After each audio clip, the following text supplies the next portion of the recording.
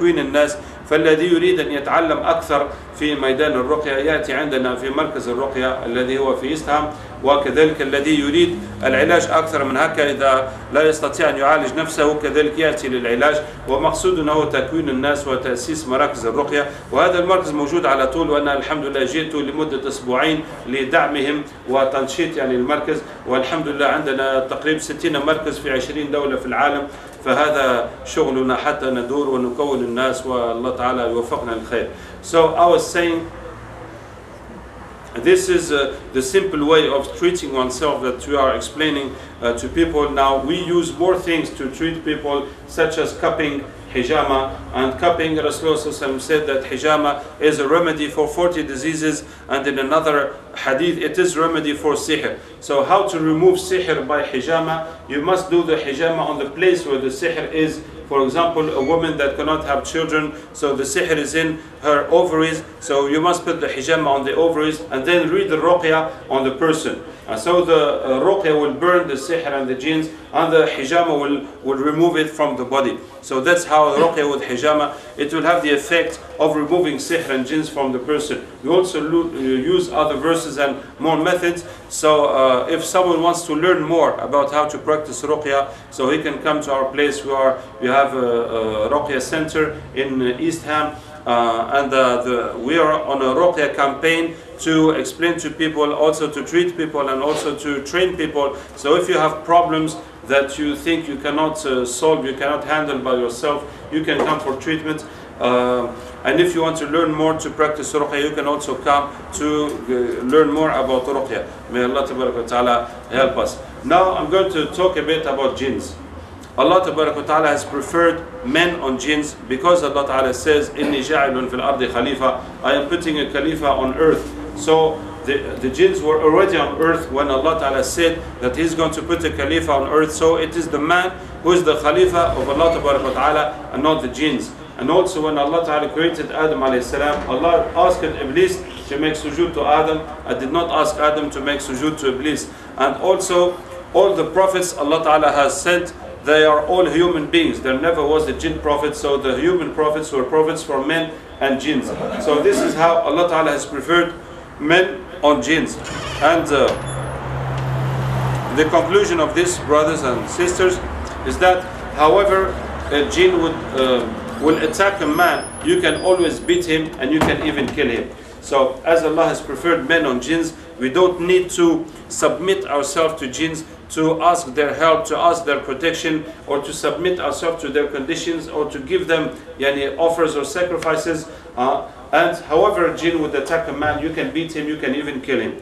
And I'm going to give you a few examples. So the first example is in dream. Most often jinns attack people in dream. So you're sleeping, you see a snake attacking you, a dog, a cow, you see uh, militaries, you see monsters attacking you. So if you, in your dream, if you remember to say Bismillah, Allahu Akbar, to read Quran, that's going to stop him, he's going to run away. So what must you do? You must catch him first and then read Ayatul Kursi, read, read until he's dead. And if he's dead in the dream, so he's really dead, that's finished with him. So how can you remember in your dream to catch him and to read Quran, you must prepare yourself before sleeping. So if one of you is having nightmares, you know someone who's having bad dreams, you tell him you're going to prepare yourself before sleeping, you read Ayatul Kursi and you read in your hands, you wipe yourself with it three times, and then you go to add this verse أينما تكونوا يأتي بكم الله جميعا إن الله على كل شيء قدير wherever you are Allah will bring you all because Allah is Almighty is in Surah Baqarah 148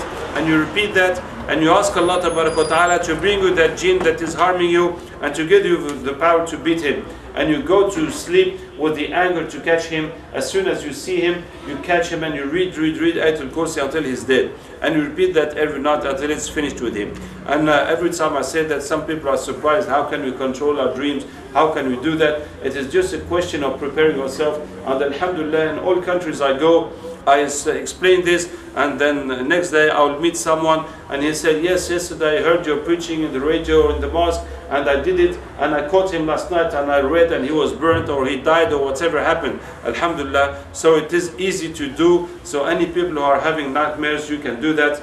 And if it is someone else that is having problems with jinns if it is your son screaming by night or your wife seeing a man sleeping with her, or your mother hearing voices confusing your mind, you can yourself make dua before sleeping and ask Allah Ta'ala to bring you His jinn in your dreams and you're going to catch him and kill him and the person will be relieved. And even if it is the person making sihr that you see in your dream, if you beat him or you kill him in your dream, so his sihr is going to return back against him. I'm going to give you a couple of stories on this. There was a young girl, and uh, it was one uh, her step grandmother that was making sihr onto her, and the old lady came in her dream with a knife to stab her. So the girl took the knife off her and stabbed her. And the old woman got up in the morning and uh, she was vomiting blood for three days, and then she passed away. MashaAllah. And I had another patient, he was an idol worshipper in Africa, but he left idols, he did not choose to become Muslim or Christian.